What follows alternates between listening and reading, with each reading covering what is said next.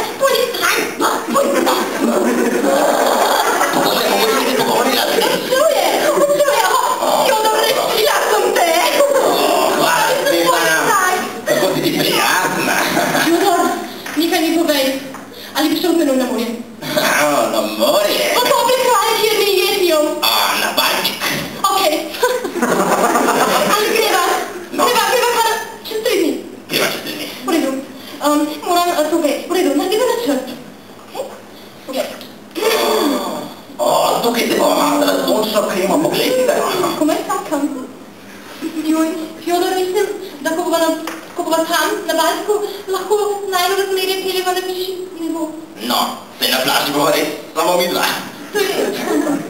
mislim, da se bova imela zelo lepo čez poletje. Mhm. Ojoj, razen ne.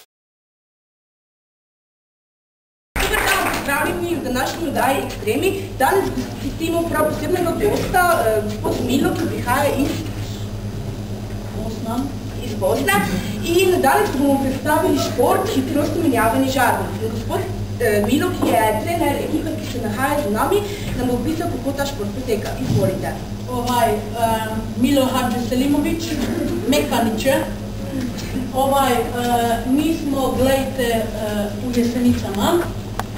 Gledajte, moje tekmovalke by the way da vprašam, veste zakaj so Jesenice najbolj športen kraj? Ne vsak drugi ima trenirko, dobro, gremo naprej. Ovaj, gledajte, naše tekmovalke sad uh, malo se pripremajo. Glejte, eh, to je sad hitrostno šraufanje žarnic. Opa, glejte, tu zdaj se nekaj dogaja, nekaj se dogaja, to je šraufanje žarnice usti. Možne so poškodbe, naj omenim, glejte, druga tekmovalka, malo bolj umirjena. Bomo videli, kakšen bo razplet. Aha, torej, eh, če prav razumem, tekmovalki z usti eh, šrafate žarnice. Eh, to je čist po izbiri, glejte, lahko z usti ritmo luknjo, kakokoli. Glejte še eno tako, by the way, zakaj jesnice so najbolj veren kraj? Ne, vsak drugi reče molim. pa ne. Joj, kaj se dogaja, daj, moram se bliže ogledati. Ja, pobliže glejte, Pobliže tako, glejte, tu je bilo zdaj ena ne napaka, glejte, kaj se dogaja. Vsega proti drugi igralki. Prinet versus blond, gremo naprej. To je zdaj. Ne diskvalifikacija, samo v primeru smrti. Opa, opa, mislim, da tukaj se pa nekaj dogajalo, glejte. Tako malo, eh, zmagovalka dobi lakos čebelce, larčiči oko vrata in naj trenirka, ako. Glejte, tam ona nekaj se trudi, ali mislim, da ovaj neće ništa biti. Eh, ponavadi blond, jer publika i eh, žirija ponavadi moška, ali ja, ja, tako blond, zmagovalka, čestika.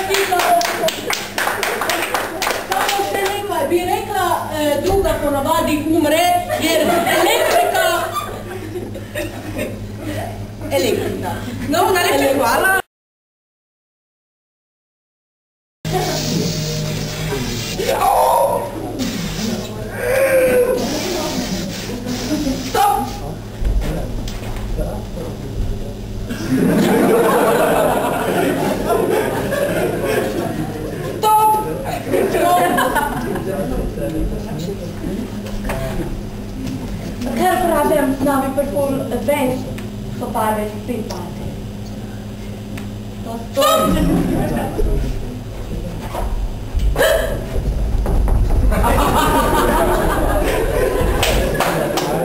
It's raining!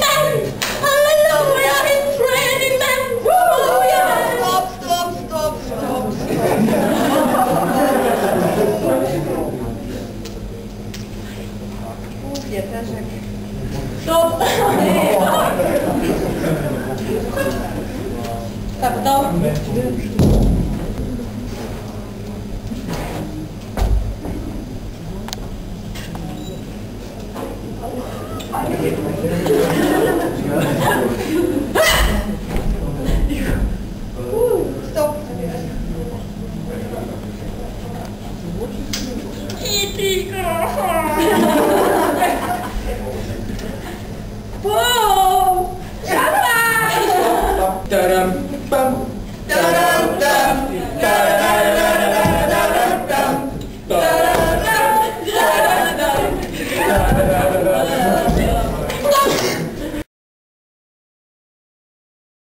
Na mestu desetic imata obe ekipi številko dve.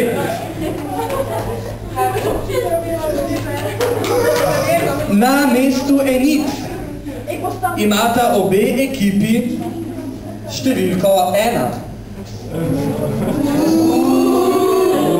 Kako napeto. Uh, in na mestu za decimalno vejico, ki jo imata prav tako obe ekipi, ima veš igrač številko šest. Ja. In mix crew številko osem. Se pravi, da je mix crew zbral 21,8 in veš igrač 21,6 točk. En aplavz za obe ekipi.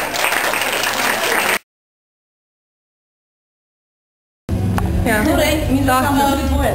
Okay. Ja. Um, tekmujemo v bistvu drugo leto um, v taki um, Postavi. stavi. Ja. Prej smo bili razdeljeni med dve ekipe, zdaj smo pa drugo leto pač kot tak tati deveti. Um, ful se imamo fajn, drugače so v ekipi osem, tam so tri punce zbolele nažalost.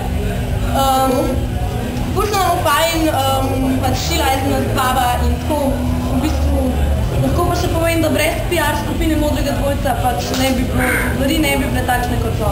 Tako je. Ja.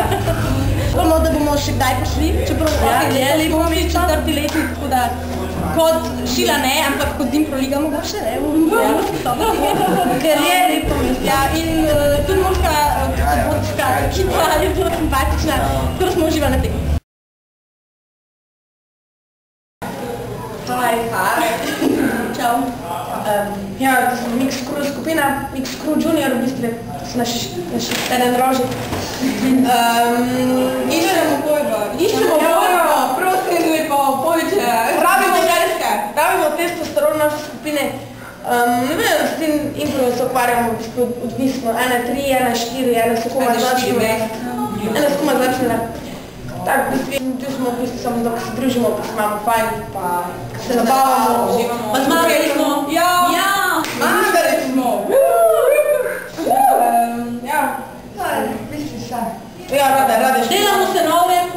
Ja, to je glavno. Isto je poraka za impro, kao bi naj bil najnormalnejši. Kakšen smo pravi, ja. Ja, tako so mene dobro življenje ne upaš. Ja. Tako da, če što se treba pokazati svoj, svojo osebnost, pridi k nam, mi ti bomo pomagali, to je Psihe, če, ja, če so komi pravili, kam uredi k psihiatri, ne, ka ne,